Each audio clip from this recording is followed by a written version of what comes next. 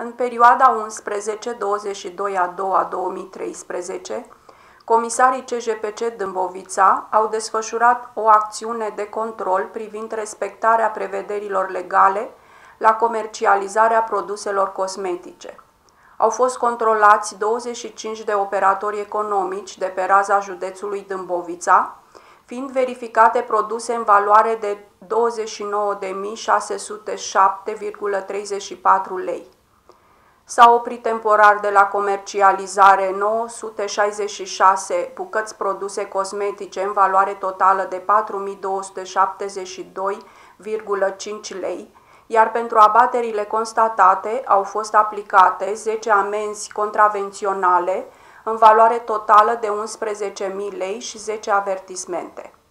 Abaterile constatate. Produsele cosmetice aflate la comercializare nu aveau inscripționat pe ambalajul de vânzare sau eticheta de produs traducerea în limba română a principalelor elemente de identificare și caracterizare a produselor.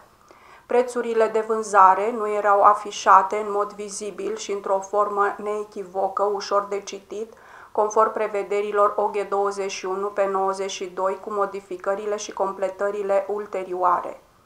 Produsele controlate nu aveau inscripționate informații pe etichetă sau ambalaj, uh, cantitatea netă nu existau informații cu privire la denumirea și adresa importatorului sau distribuitorului. Comisarii recomandă consumatorilor să achiziționeze cosmetice numai din magazine și raioane specializate de unde pot primi bon fiscal, să fie foarte atenți la prețuri și dacă se poate să fugă de produsele cu prețuri prea mici. Pentru că ambalajul poate spune multe despre un produs, consumatorii ar trebui să fie atenți la calitatea acestuia. Verificați cu atenție eticheta, o calitate proastă a tipăririi poate însemna o contrafacere afacere. Toți consumatorii ar trebui să știe că orice produs cosmetic are inscripționat numele sau denumirea producătorului și că anumite produse nu au data de minimă durabilitate, ci au inscripționat un simbol PAO, lângă care este menționată perioada de după deschidere în care produsul poate fi folosit în siguranță în luni de zile. Întotdeauna citește cu atenție eticheta și ține cont de orice avertisment pentru evitarea unor probleme ulterioare.